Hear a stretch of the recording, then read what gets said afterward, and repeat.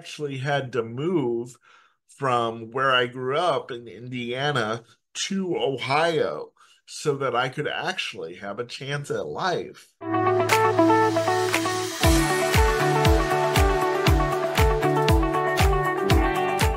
Hi, everybody. Welcome to the very first inaugural episode of Nick Speaks, where we speak up, we speak loud, and give a voice to those who feel they don't have one in the disabled community.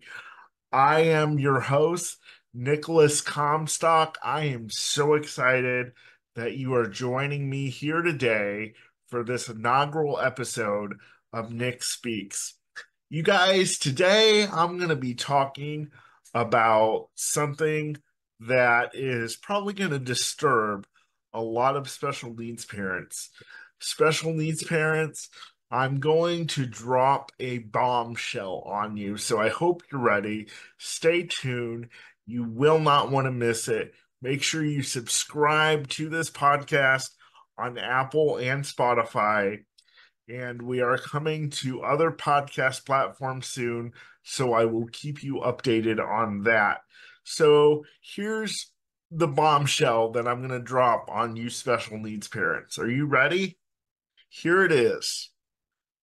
Your special needs kids are going to become special needs adults. Let me say it a little different.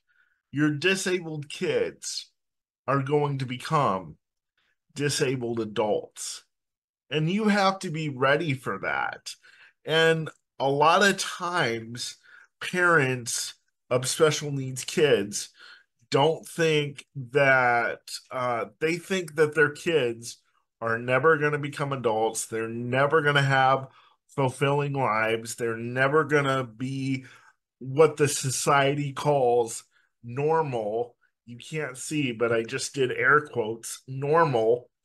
Um, and they're never going to have a fulfilling life as a able-bodied person would. And I'm speaking from experience because my parents never thought that I would move out on my own, that I would be in a relationship, that uh, I would have a successful career my parents thought I would always be with them.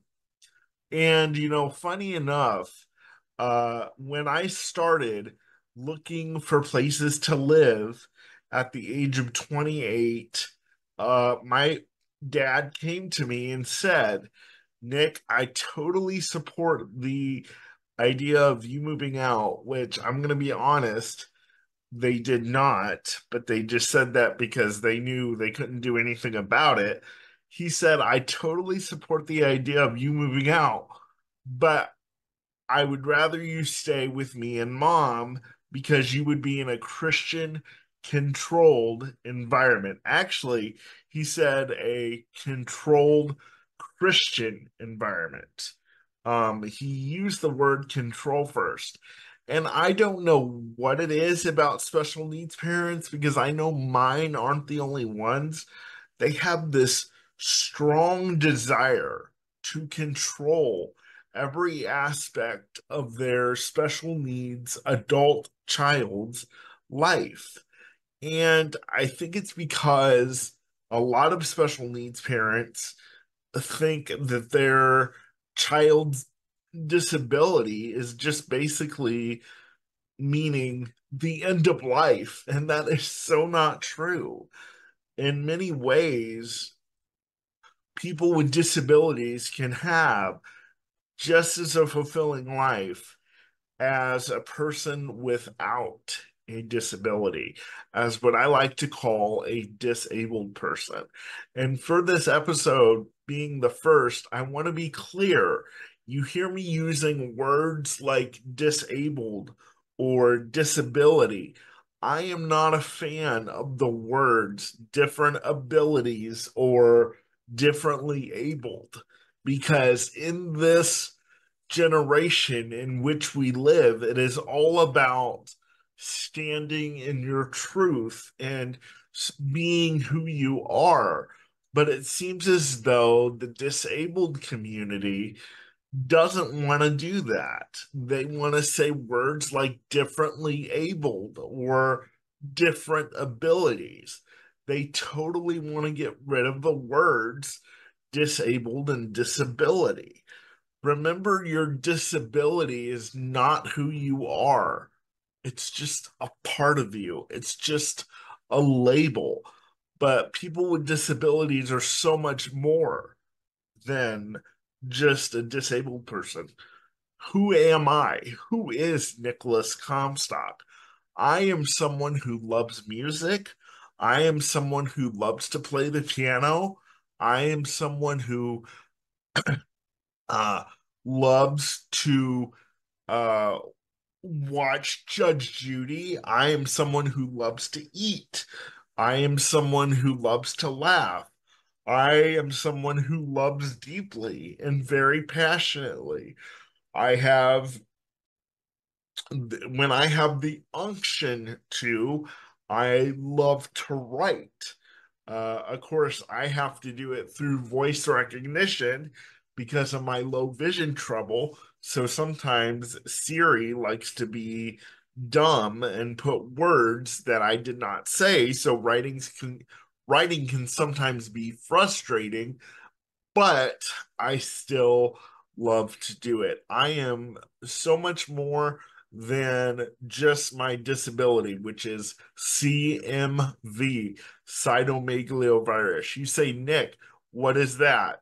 It is just simply now a part of the cerebral palsy family. And my mom was diagnosed with it when she became pregnant with me and my twin brother. And before you say, oh my God, Nick, you're a twin, that's so cool. It's not all it's cracked up to be. Trust me, it's not. But um my, you know, my mom and dad, you know, they didn't say anything about my twin brother not being able to go out and do things uh, because uh, he was completely normal.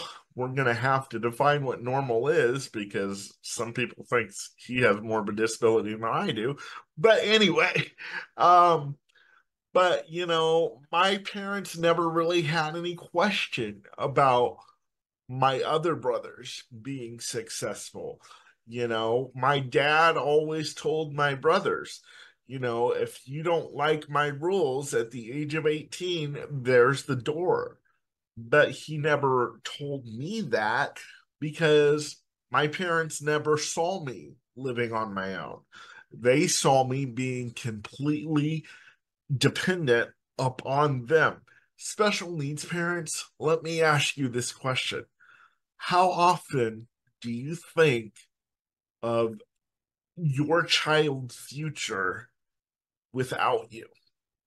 How often do you envision your child's future without you? I can tell you that 99.9% of you don't even want to think about that. If you're in your car listening to this podcast right now, I am telling you, I probably made you pull over and almost had a stroke because you're you're thinking I'm always going to be here for my child. Uh, you know, I'm never not always going to be here, and I'm sorry to break the news to to you. CNN news alert, Fox News alert, whoever you get your news from, here's a news alert.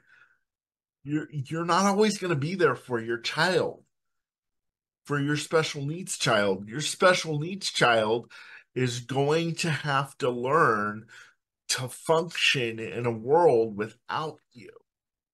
And if you don't start teaching them how to do that now when they're 13, 14, 15, when they become 25, and let's say something drastically happens to you and they have to go live in some type of group home because you, your child's main caregiver, has done everything for them up to this point, they're going to be lost. They're going to be up the river without a paddle, as folks I folks I used to grow up with used to say. uh, they're going to be up the river without a paddle. And you need to start teaching your kids and you, your special needs kids how to function in a world without you. You say, Nick, my son, my daughter is nonverbal. I don't know how they're going to function in a world without me. I don't know how they're going to function in a world without somebody. Well, see, that's the problem. Even parents in that position, they are so tight knit and they are so scared that they won't even let other people in to discuss their child's future or give their child another option because to them it's offensive. Why wouldn't my child, you know, be with me? Or why wouldn't my special needs child want to be with me? We have a special bond. Breaking news alert again, special needs parents. Your kids don't always want to be with you. And guess what? As much as you love your special needs kids, you don't want to be with them either all the time. You need a break. Now, this is not to say, oh, I'll put my kid in a group home that has special needs just so I can live a life. No, if that's what your kid wants to do, if if they want to try to live on their own, don't discourage it. Look at all their options for them. But for some reason, a lot of parents of special needs kids discourage their young adults from living on their own because they are so fixated on their disabilities. They haven't taught their kids to adapt to their disability.